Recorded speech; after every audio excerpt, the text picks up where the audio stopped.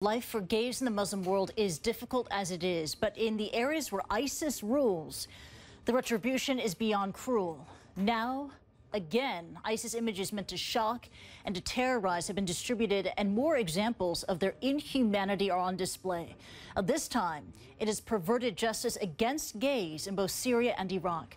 The names of those Arwa Damon spoke with for this report have been changed and their identities concealed. These stills, dated March 2015, purport to show a man being thrown from a building.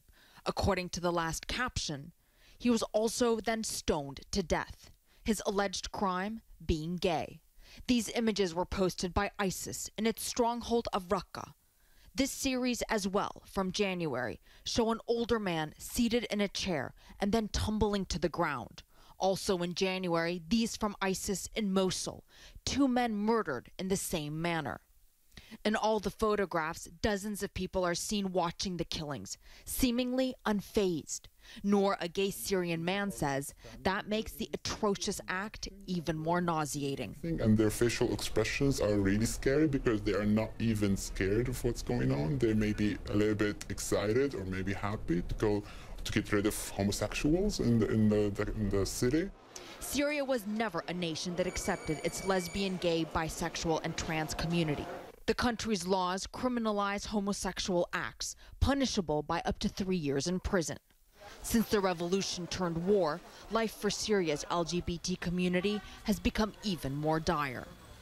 It was not ISIS that forced Nour to leave Syria, well before ISIS emerged as a significant force. In 2012, Nour saw this video. This is the only frame that is not too gruesome to show. The video depicts two men being beheaded. They're accused of being spies. But then towards the end of the clip, a voice references a verse from the Quran. And Nour says when he heard that, it became one of the main reasons why he decided to leave.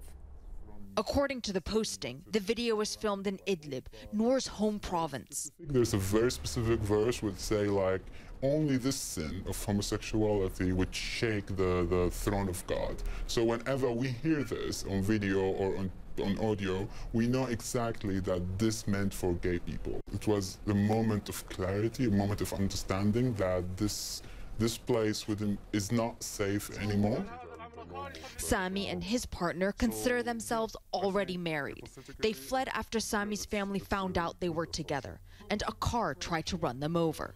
Two hours later, Sami's phone rang uh, there was a man that was he said this time you could you could have make it and you survived but the next time you will you will not in istanbul the couple lives in shared housing with other syrian men when the isis photos emerged one of their syrian housemates made a sickening comment uh, he made a very absurd joke about uh, he was so so amused and he has so much fun watching uh, homosexual and he he say now gay men can fly.